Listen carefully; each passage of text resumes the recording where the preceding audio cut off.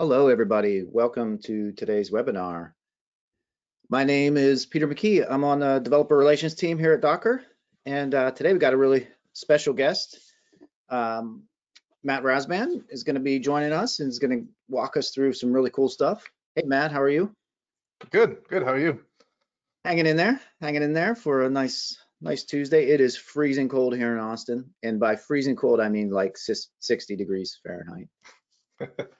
yeah, we get we get a little spoiled here with the nice sunshine. But um, yeah. So Matt's uh, was a financial advisor turned software engineering uh, engineer. He's based in Colorado. Outside of fintech, he loves to uh, mess around and wrench inside of his old Jeep. Uh, also spending time with his wife and kids in the mountains. Uh, Matt works on the trading infrastructure of SFOX, a leading independent prime dealer in crypto assets. So again, welcome, Matt. I really appreciate you coming on and and uh, showing us some stuff today. So, yeah, yeah, uh, glad to glad to be here. Yeah, cool, cool. Well, welcome everybody. Glad everybody's here. But um, yeah, we're going to jump right into it, and Matt Matt's going to show some uh, really cool stuff. So Matt, whenever you're ready, go ahead and start sharing and kick things off. All right, let's see if this works. Is that coming through? Yes. Cool. Cool. Yeah. Thanks everybody for joining us today. I know uh, another webinar online meetings tough these days in the COVID area era, but uh, yeah, glad to be with everybody. Um, so yeah, today we're going to walk through just Dockerizing a Python app. Um, it's going to be some basics, and then we'll go up to kind of some mid-level stuff while we do this. Uh, and if you hear some noise in the background, we're doing construction on our house, and we miscommunicated, so you might hear a few bangs in the background, but uh, I'm probably still alive right here. yeah, we'll, we'll chalk it up to the 2020. yeah. Oh, by the way, I didn't mention at the beginning, my my, my fault. Um, we do have a question section in the in the GoToWebinar panel. So feel free to ask questions as we go along. I'll be watching those. And um, if we don't get to it while Matt's uh, talking, we'll definitely answer them at the end. Okay, sorry about that. Forgot to say, kick that off at the beginning. All right, cool. back to you. Yeah. Uh, yeah, so this app, it's kind of a, I've been, I've been involved in the Python developer group for a long time, uh, one of the longer standing admins. And so we, we have our own bot, obviously like a lot of groups on Discord and Slack and everything. Um, and I keep playing playing with the idea of using new Python features to build a new version of it. Um, so this bot is very much in the infancy. Um, but what it does is, sorry, let me make sure it's actually added to the team. Um, the whole point is I want it to be composable for other people to be able to use it, um, either in their app directly or to, and it's gonna pop up the wrong Slack, um, either in their app directly or just add plugins if they want. So that's what we're going to, to be demoing. So it just does a simple like quota stock kind of thing uh, for now, and that's based on plugins. Cool. Uh, and so we're gonna start through, let's see, I kind of, I'll publish all this obviously afterwards.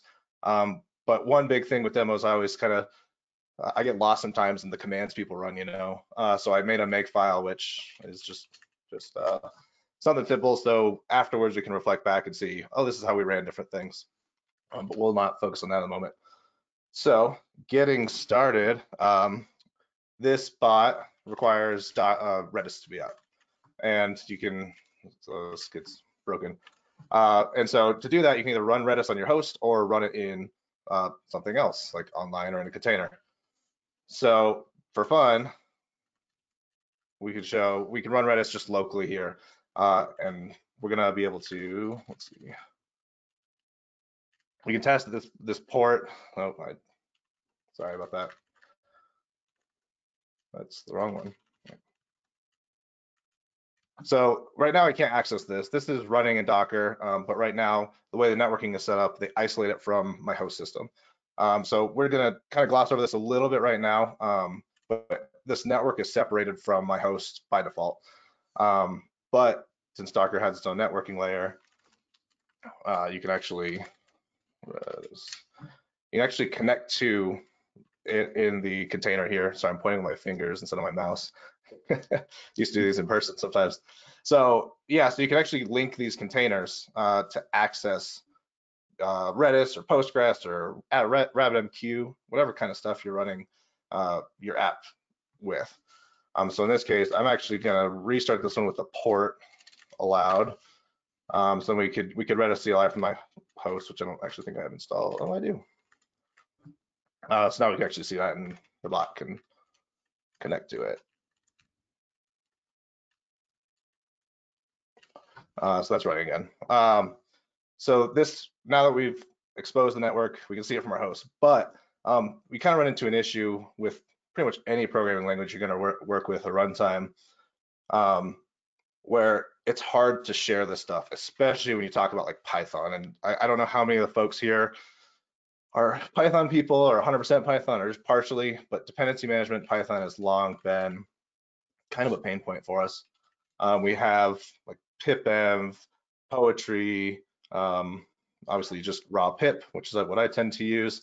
And so if I want to share this app or develop it with my coworkers or you know the open source community on our on our Slack group, um, it's hard. It's really hard. Uh, so you have to know you have to set up a virtual environment. You have to know which requirements to install. You have to know all this stuff just just to contribute. And if you're like coming in, popping in, want to help out on a project, that's a lot of overhead just to write a line of code and contribute it um, on GitHub or wherever you might be. So uh, one nice thing here, uh, and what Docker really enables us to do is we can make um, a shareable image that people can use to to build and run their apps. Sorry, grab a little Coke here. So what we're gonna do, let's walk through just setting this up. Uh, this is all stuff you'd probably do on your desktop or laptop normally. Um, uh, but we can automate all the steps for somebody else instead of like giving them a make file like I have here. Um, so we're gonna do kind of just the quick and dirty Docker file and we'll walk through each instruction um, just to get it going. So you always have a from and then you give it a base image. Uh, and I always like the Alpine images because they're tiny, which is awesome for download speed, deployment speed, all that. Uh, there's some nuances and the differences, but we'll we can talk about that later if we have time, uh, and if not, something to follow up and research. So in doing this, we need to. This is optional, but you can set like where you want to want, want to work in the in the container. So all all steps going forward are in this context of work of slash app. Um, and then you have to add your dependencies, obviously. And this is where you can see it really is nice to start trying to remember all these for this app because sometimes I forget.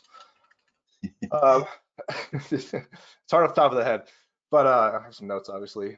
But yeah, so you can see, let's suppose I send this to somebody. I'm running on Windows right now, trying out WSL to see if the Linux kernel here can support my daily needs. Um, but I'm on Windows and then I can send it to somebody with Mac with this. And if they need to install GCC and G++ and make and whatever else our app might need, you run into some kind of crazy headaches, I think, because um, it's like, oh, it, depending on how their system's set up, it's different and it's not reusable, it's not shareable. Um, we can copy in our application, then we can run again. So run commands run in the context of the build. So this is when we do Docker build, um, not when the container is actually running. Let's see requirements. We'll we'll do production right away you don't have to spe specify this exposed, but I have a friend who told me, I thought this was really smart. Um, you can use it for documentation. Like if your app is always gonna be running, hopefully on a, on a port, uh, if it's a web app, exposed it's just a nice way to document it. And it helps with certain things like Traefik, which we'll talk about in a little bit. Um,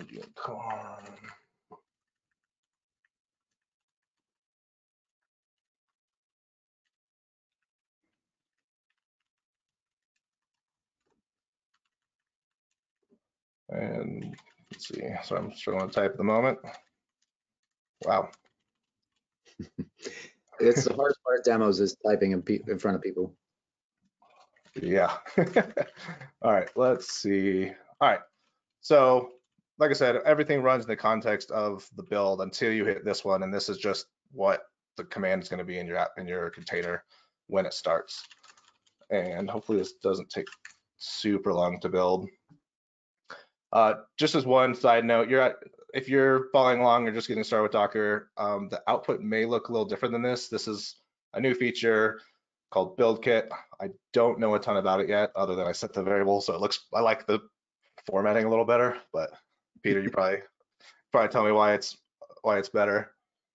Yeah, I'll talk a little while it's running there. Um, yeah, so it's the latest and greatest uh, build engine, and it's composable. You you can run it in different places. It has better caching. It also do does uh, you can do parallel builds, so it looks at your Docker file and says, oh, I can run these steps uh, in parallel with these steps, and then at the end it can bring them back um, together. It also does like dependency checking. So if you have um, multi-stage builds and you trigger a stage that you want to build, it then knows what that build is dependent on, and it'll only build those uh, dependencies and will, won't build everything that's in your Docker file. Um, Oh, that's cool. yeah, and then the caching is really, uh, really great feature. So it speeds speeds everything up. Um, you can preload caches and stuff like that. Oh, that's very cool. Yeah. Yeah, so I, I should have popped out the C dependency of this one because this one takes a few extra seconds. Yeah, no worries.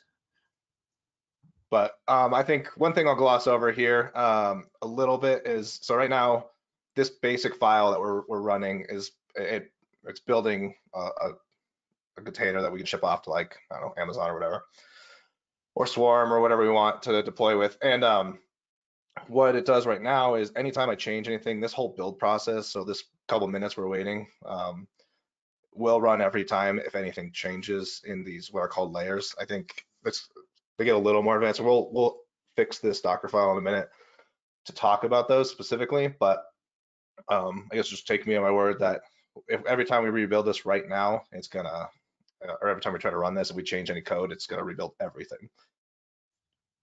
Yeah. And I think last time I clocked this was 140 seconds, I think, but we'll see. Here we go. It's gonna make me wrong. It always does. Uh, of course. got that you got the added little um talking to me on GoToWebinar taking up a little bandwidth probably or something. That's my that is my uh, limited knowledge of networking. yeah, I actually pruned some of the system images just so we could show exactly what people see. Because another thing is sometimes I get confused with when I watch others. It looks a little different. Here we go. 166, 172. All right, so not bad. Um, and since we did not, oops, sorry. Let's see. I didn't tag this, which is whatever. Running it's harder. Docker. All right, just gonna try to run. It's in a boot loop because right now uh, uh, environment variables aren't there, which is something I overlooked while prepping that part. um, let's see. I put them in secret, so we're gonna probably have to step past that one. Um, actually, yeah. All right, so this like I say, it runs it runs in right now it's boot looping. Um, but right now it's we want to be able to access it. Let's let's just do a simple one to kind of show what I wanted to show here. And this is the same same port issue. Well, what this container was, or I guess the bind issue, um, is in the Docker file. One thing I did, and this is kind of a, a funkiness, not a funkiness, it's just how networking works. I set this bind address to localhost running in dev, that's usually what you'd probably do. Obviously, don't if you're like at a coffee shop during the normal world, you're not going to want this exposed to the whole world. Just working on your laptop. Um, but in Docker, that'll actually be isolated to this networking stack. So similar to Redis when we first started, um, that would be visible on my host, so I can't you know hit that locally. Um, so from there, I think normally we'd have to link this to the network, uh, similar to that Redis CLI again. Um, I got the wrong folder. Uh, so again, we have to link these containers. Uh, so when you're talking about like a single application, uh, it's kind of something simple where you have like this, you have um, Redis and your Python app.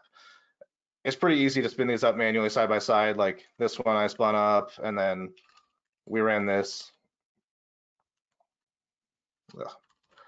Um, we ran this where we can just run these locally. It's not a huge burden to, to run these side by side. When you start thinking about larger applications, stuff we work on at work, stuff we work on um, like in our free time, that's a bigger project, or things you want to deploy, we start thinking bigger, where you have background workers, like in, in the Python world, since our, our apps are generally, people call them slower, um, you, have, background workers for mailers and uh, background jobs, all that kind of stuff. It starts to become a huge burden to share that with people. And so in doing that, um, to, to make that simpler, we have a tool that we can leverage called Docker Compose. And what this does is very aptly named, you can compose a bunch of different pieces together. So in our case, for this specific application, it's the application itself, and then it's the dependencies, um, so Redis. Uh, and so, like I said, spinning up is kind of a pain, so we can actually make it even easier by, by building a Docker Compose file to compose these two things together and really just define what our application needs at any given point. My favorite part is if you version this in Git, which I think you should, um, with your application, you can actually, at any point in time, you can go back six months ago and run the app then um, without without much headache. And in Python too, a big issue that we've talked about a little bit with dependency management is um, there's an old adage of like friends don't let friends use system Python. And what that means is you don't install pip packages or Python packages to the host or to your system Python. You always have to put it in some virtual virtual environment or some other layer. Docker, that whole idea is removed because we don't actually have to think about it. It's it's totally isolated kind of by default. So, yeah. well, the, go ahead. I, I, was gonna say that we got a, a question around that, so I might as well thought I'd jump in. Sorry for stopping you, but it, so um, Michael asks, ever use virtual environments inside of Docker or always install to the system Python? So I think what he's asking, and I, and I have this question too, because I'm not a um, you know full-time Python developer, and I've seen it both ways, right? Of inside your actual Docker file, you install, you're using it in, uh, in a virtual environment inside of your container when it runs. Any thoughts around that? Yeah, I don't I don't know if I'm controversial or not, but I would say generally no. The big the big reason is there's nothing else depending on that Python and its dependencies. Like there's nothing else generally when you deploy a container, it should be a process per container. And there's very few exceptions around that. So it's not an absolute, but it's a general rule of thumb. Um, so you're not corrupting the system Python like you would on a host where, you know, your some networking layer can't resolve like DNS because you changed out the DNS resolver for like a Python package. Yeah. So I, generally, I don't use a virtual environment in there. I think it's an extra overhead. You can, uh, but I don't think that it, it, really impacts anything negatively to not. Yeah, that, that's my thought. Uh, you know, just by understanding the Docker and working with other uh, application, you know, programming languages and and uh, containerizing them, right? Yeah, I, that would be my default answer. Is unless you have a you know, a specific reason to do it, don't complicate things, right? And like Matt was saying, you you've already containerized and virtualized that process, right? It is isolated. So yeah, and and and when you would start to use virtual environments because you're running two versions of Python inside of a container, you you start breaking that rule of uh, one process inside of a container. So yeah, I would agree. Yeah, yeah, and I think I think a really nice thing about that process stuff, and, and we'll get to that here, is is you can actually isolate like networking stacks and secrets and environments, and there's so many so many nice pieces of composing these things together, where similarly with a virtual environment, not using one, it doesn't impact any other service by having that. Right, right. I, and I guess it'd be kind of interesting, like Python by default installs globally, whereas like you know if you're in the JavaScript ecosystem it, it you know puts the node modules next to your project. Um, right. But that's just kind of I guess an idiom of how they work. Yeah. So or I guess let's see bot. So let's step back for a quick sec. So we did this Docker build, uh, and it shouldn't run again because we haven't changed anything. Um, oh, sorry. So nothing changed here. Um, but one thing you can do, like I said, it's kind of, if you don't tag it, you get this beautiful SHA, which is hard to run. Um, so we can just like,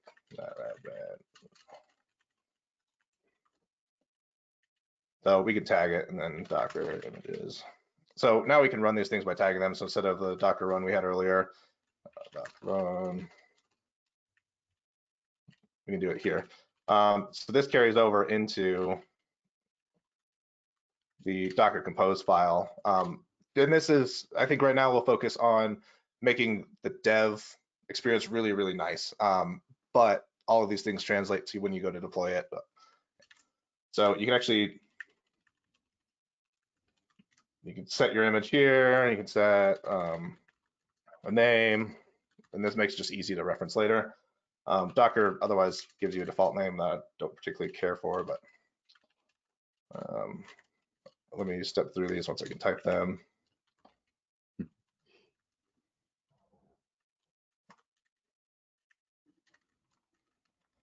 Docker file.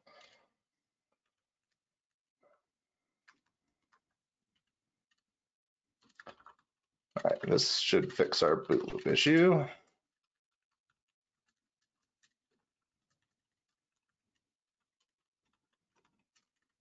There's another fun idiom in Python. If you don't do a Python unbuffered, uh, and especially in Docker, and you're you print something out, you expect to see a standard out, it might not show for a while until it's flushed. So just a funny idiom. All right. Let's do this so we can actually run it.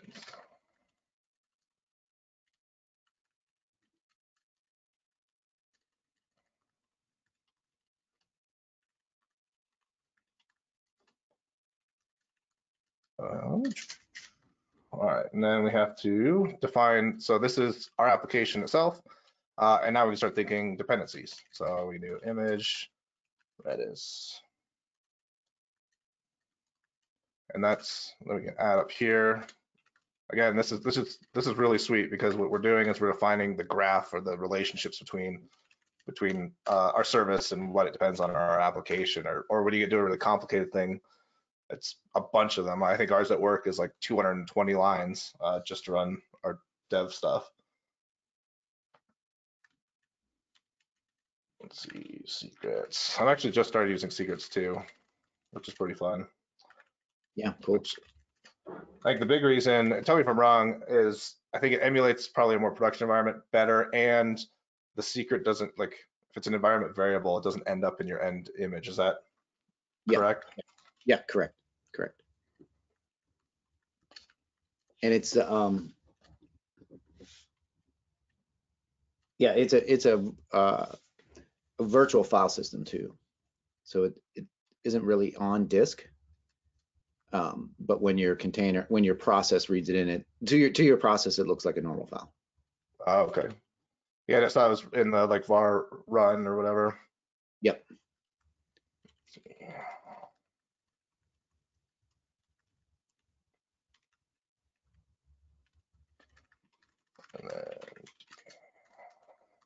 Ah.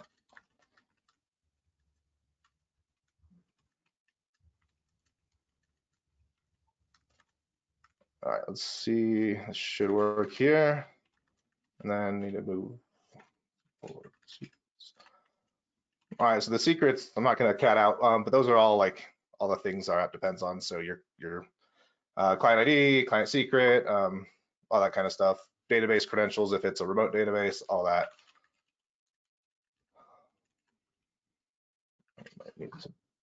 Uh, yep.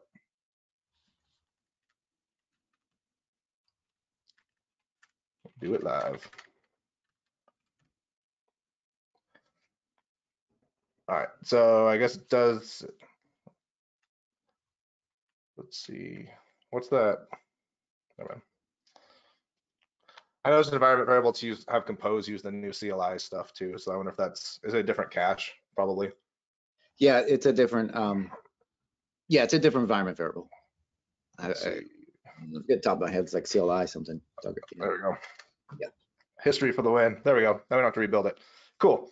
So what this did, we just booted up the app in Docker. It's now running in this container um, because we already had the cache, didn't have to rebuild. So that makes kind of some dev experience really nice. Um, you don't have to keep reinstalling stuff. Um, although we'll show that that's not true in a second. Um, but now it's running using the contained Redis, which is at this host name. And I think this gets into some fun stuff with compose. Uh, kind of for anyone who's unfamiliar, we these by default are going to be kind of in the same network stack, which is created for this based on this Docker files location or this compose files location. Um, so Docker network ls. So you can see it's misbot default. So that's the default network that we're getting. Um, and as such, they are on the same network and we can actually resolve this one by its, its effective host name, which is pretty mm -hmm. neat. And we have to think about ports or any of that because uh, I think it by default what it exposes, I think is what it would use. And yep. then we can actually see if this dude works. See, that's not kill that. Yeah. Quick note on that that network name, the misbot. So that's that's being pulled from the directory that you're that you're currently running your compose file in. So it'll it'll uh, so you don't get clashes if you were running two compose applications. Um, it'll preface uh, networks and volumes and stuff like that with a folder that you're in. Oh, this gets this goes to our issue. All right, cool. Now we actually see the issue that we we created for ourselves earlier. So because we're these are isolated networks and Misbot is currently listening on 127.0.0.1, we actually can't access it. And that's just because it's not exposed to our host. Um, it's in that it's in that private network, that network overlay. So we can fix that real quick with this Docker file and this. Um, this is kind of a nice way to show how rebuilds will work because the only thing we're going to change is this line, so we'll see what else happens. Um, oh, okay. This is kind of funny. So the reason I think this is rebuilding, and this is kind of a, a fun Dockerism, uh, something to just be aware of. It's not actually bad. Um, but we need to add, you have this Docker ignore file. And basically what happens is when Docker builds your image, it copies everything from your host into it. And again, as Python people, we probably have tox. We have then, we have obviously our Git project, all that gets copied in. Um, so in this Docker ignore, uh, we're ignoring some of those things because we don't want those copied in. We want them isolated to our host and we don't want them, we don't want to make what's called like a fat image at the end where it just gets just all this extra stuff in it. Um, so we probably need to just the Docker file.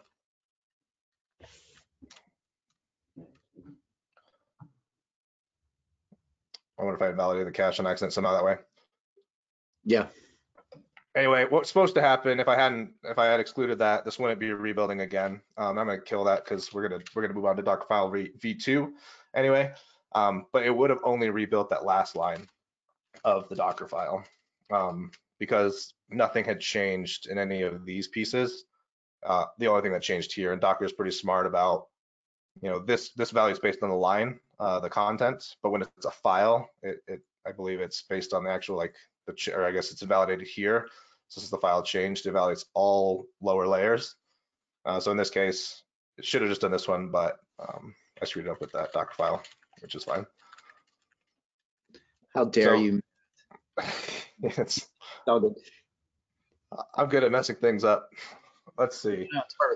And yeah, just a quick note. Uh, it's very interesting the way that the caching works too. It'll actually, like I think you touched on it real quick. So the requirements production txt, it knows it's a file, and it you know it does. Uh, it'll actually look in the context in different kinds of ways to make sure um, that the cache was actually validated.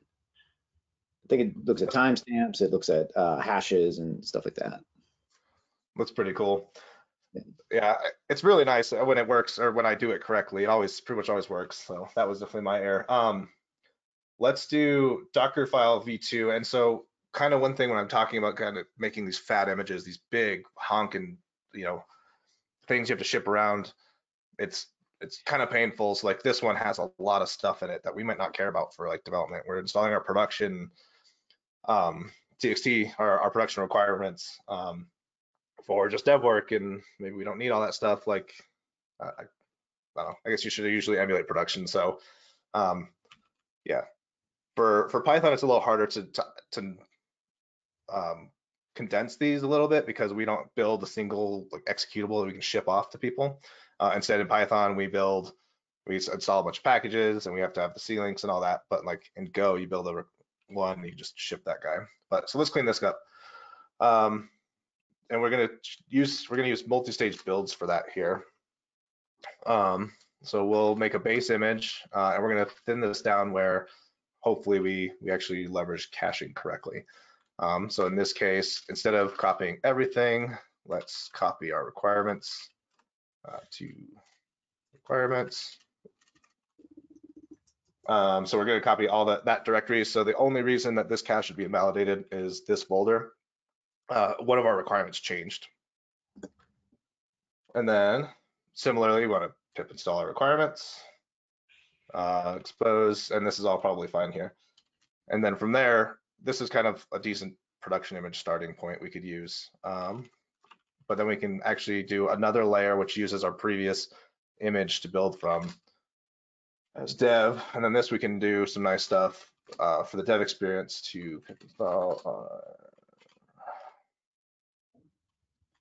uh, our development development dependencies.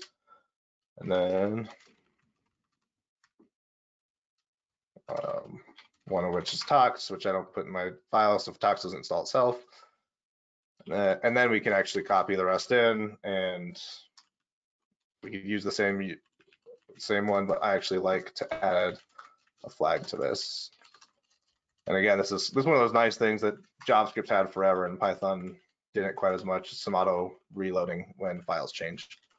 Uh, and so that's pretty decent starting point. And then, um, yeah, let's see. Then for production, we can do, oh, sorry. Copy everything in, and that way it'll just, and then this command will be by default what's happening here because we already defined it, I think. Uh, build.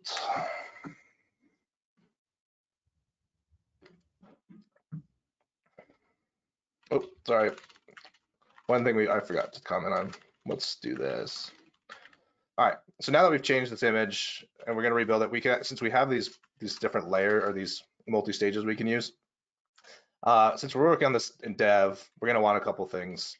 First off is we're going to want the local directory. I can just do dot to be at app. Uh, the reason being just we want all of our current files to be in uh, in the container.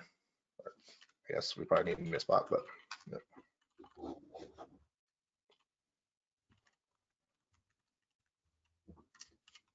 Okay.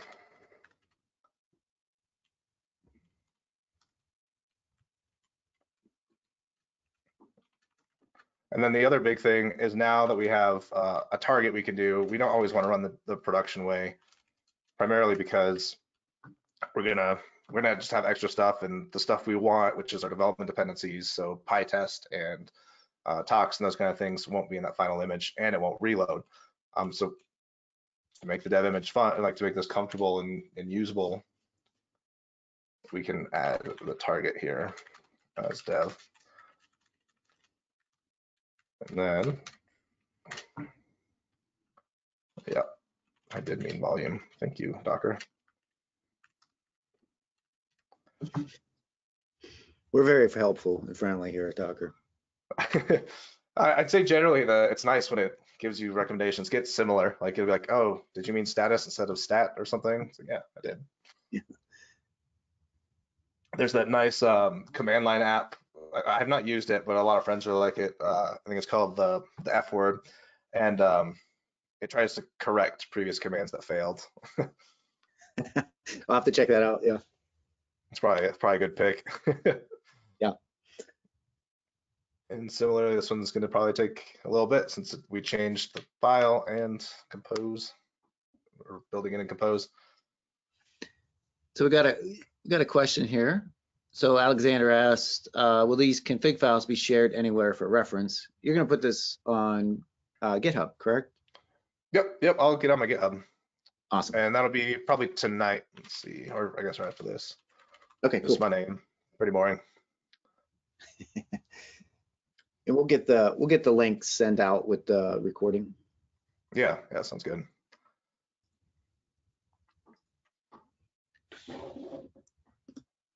Let's see. Radu said Come on, uh, uvloop. looks like Radu said we froze here. Are you, are you back on, Radu? We're okay here. Anybody else having troubles, just uh, throw in the questions there. Or in the chat. You can chat to me, but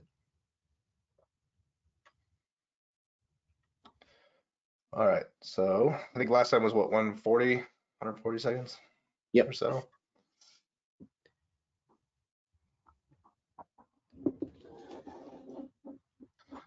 This is the hard part of showing Docker editing too. Sometimes the builds, uh, you know, maybe a small Flask app is it's a good approach, but it's fun to actually do something you're working on, I think, in Docker to, to share that. yeah.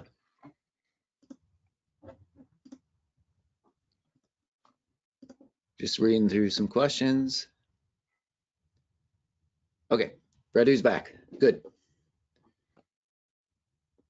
Yeah, it's probably, probably was on your end. Hopefully, if, if not, if it, if you get any more hookups, let me know. With everybody, uh, everybody at home and at least here in the United States, a lot of, a lot of kids are still in virtual school. But they should be, it's 3:30 my time. But, uh, kids are finishing up now. Yeah, they basically, uh, kids are basically like working in corporate America these days. They just sit on Zoom calls. Pretty much. I've, Yeah. I've heard of some have to have to do their homework on Zoom. Yeah, I saw a friend of mine tweet out, um, my son said, oh, I don't want to go to school. All I do is sit on Zoom calls, or I don't want to sit in Zoom calls all day today. And the dad was like, yeah, me too. yeah, it's plug my work. I, I think uh, we're very good about not having a lot of calls, which is pretty nice. Yeah. So S Fox is always hiring too, I'm sure, like like everyone right now, at least in devs, the dev space, I should say. This is Yeah. kind of nice output here. Um, you can see what layer it's building. So we can see we're setting up our base layer. It's five different layers to build it. Uh, used these cache ones from probably our previous build and added some stuff. Ooh. Um,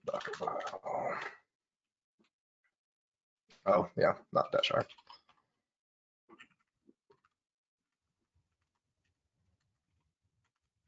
Build. Okay, cool. So again, kind of like I was saying, now when you're doing it right, there's actually caches. It's great. I was gonna say, there, there's the cache right there. And hopefully things are working again. There we go. Cool. So our app's Nice. now back up. We're listening on the correct interface. You have to listen on 0000. Um, or I guess if you want to grab the Docker's IP, that's fine probably too. And so now that's back. Let's uh, pose. So here's a couple things that we did special. I think this target, so multi-stage builds, this is cool.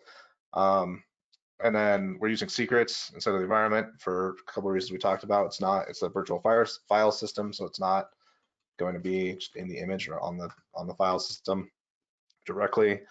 Um, and this is what's really cool about secrets. You can actually use secrets in Docker build right now. Um, and so if you want to do that right now, like a lot of people, if you're just installing from a private GitHub, you have to put in your key as a build arg um, just authenticate to download, but then it's in the image, it's in like the layer cache, you can inspect it, that kind of stuff. Uh, with secrets, I think they actually don't do that, so you can use it just for a command at a time, and it's not inspectable, so you could actually build your image with private repositories, uh, compile your code if it's a compiled project, and actually ship that to people without them being able to get your, you know, GitHub private or deploy key or whatever you're using. Yeah, exactly, exactly. That was pretty cool. I think it's something I need to roll out at work still. Um, Yeah, for sure. let, And, and two, sorry, Matt.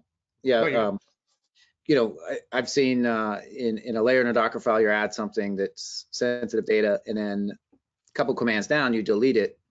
Well, it's still in your, it's still in the previous layer, right? And you can inspect those. So, um, yeah, the- uh, use secrets as much as possible. Keep your, keep Yeah. your image clean.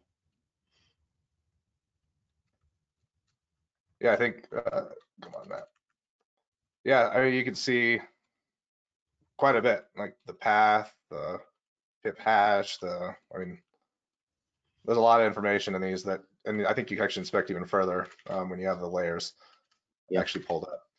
Uh, so right now, we put we put our app in Docker. Um, we put it in Compose. We now volume mapped in our, our code. So now all of a sudden, like, all right, I want my dev experience to be good.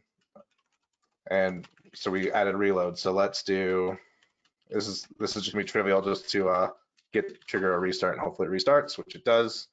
So you see up here, our bot just reloaded. So this can work for any application um, that supports live reloading. So if you're a node person, JavaScript, whatever, it'll work there um, by volume mapping. And so since I'm on a Linux kernel in WSL, um, I think it actually supports like inotify, which is like a, a, nice way to poll for those changes. So every time you change, you don't have to like kill and restart your app. You don't have to rebuild doc. You don't have to do any of that stuff unless you change, you know, a, a base layer. So like a we had a dependency or whatever. Um, and then even better, I think a kind of a nice bonus we can we can tap into here is all right. So now this is just a YAML file. Most things from YAML we can actually use here. So if you're the type of person that likes to run your tests every time you change a file, you know, you can just use some YAML anchors. Not, but I don't know why I copied all that because none of it's actually useful. Tests. Um, because what we can do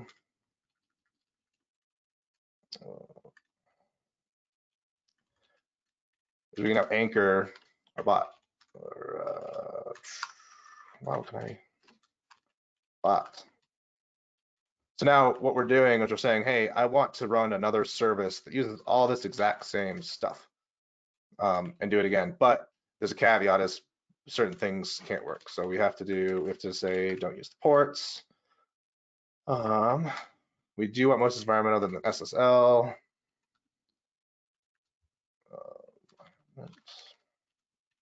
So again, just using some some nice uh, um, YAML features. I know a lot of people hate YAML. A lot of us code in YAML every day for work half the time, but we can override some of these so we can actually run our tests in a, on live reload. So then we can change the command out and we'll override what was in our container, which would be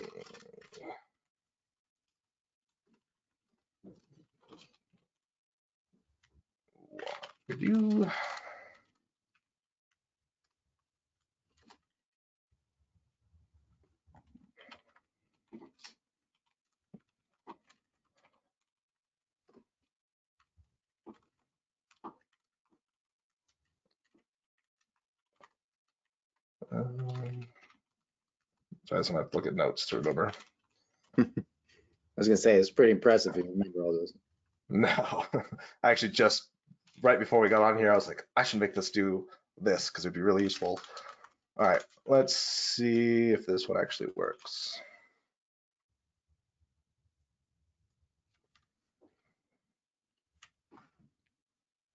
Uh, miss oh the name. Guess that's a bad part of naming them by manually.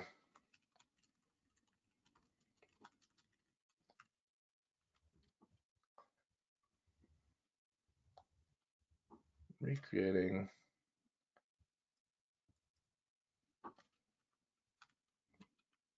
Did I type that wrong? I'm not sure. Container name. I don't know, your terminal feels too fast for me. Uh, I think it, I think it, Docker Compose is still running. Ah.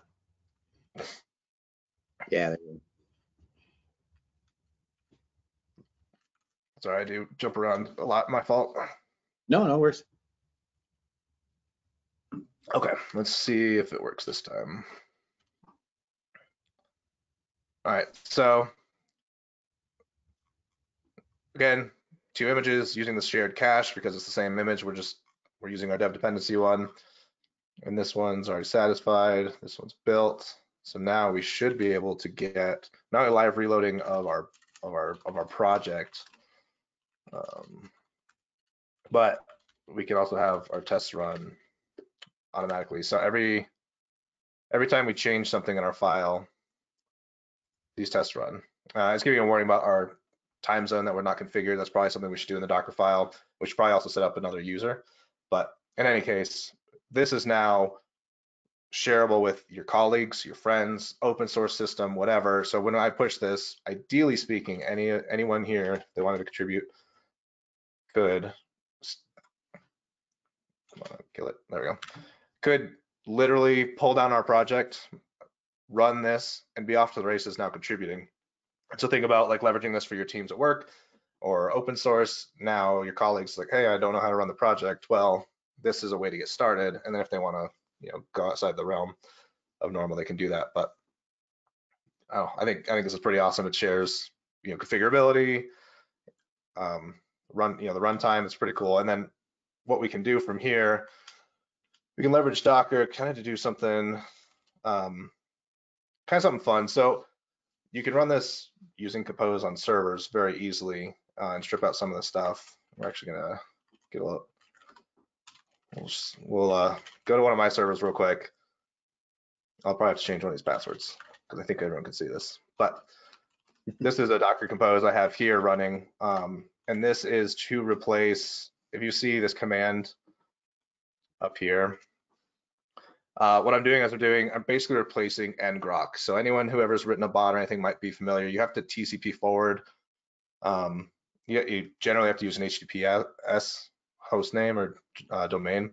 Um, and to do so, you have to use something like ngrok or something else. So to get around that, because I don't want to pay the money, I have to keep changing my URLs.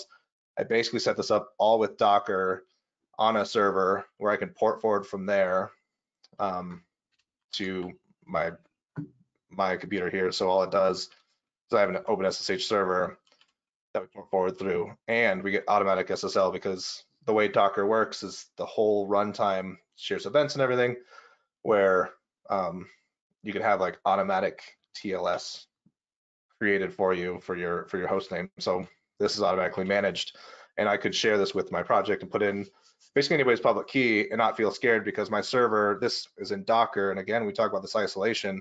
It's isolated from the host. It's isolated from other containers. It's isolated from the file system even.